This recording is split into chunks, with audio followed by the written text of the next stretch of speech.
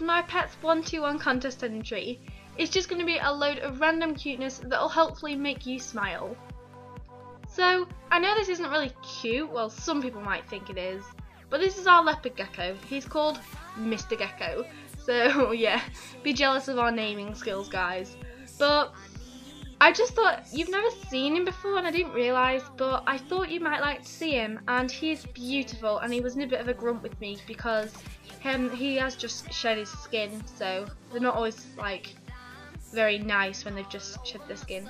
So I thought he looked pretty cool.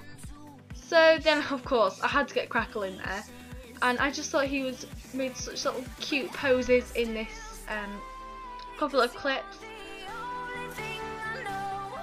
and I'm sure you've probably seen a lot of these clips before, but they are like some of the cutest clips that I've ever managed to take and I am quite proud of them so that's why they're inclu included. And this next picture was even in my like beginning channel trailer but I needed some tiny cuteness and come on look at the timing of that guys that is a pretty good photo.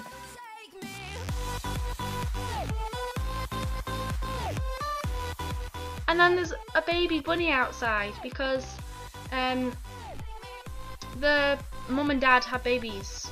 So now I've got loads of baby bunnies. So cute!